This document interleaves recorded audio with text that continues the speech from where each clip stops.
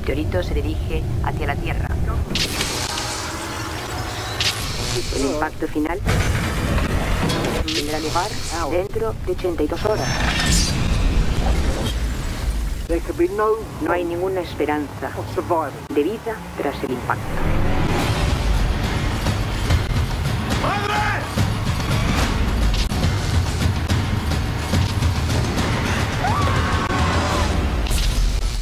Tres días.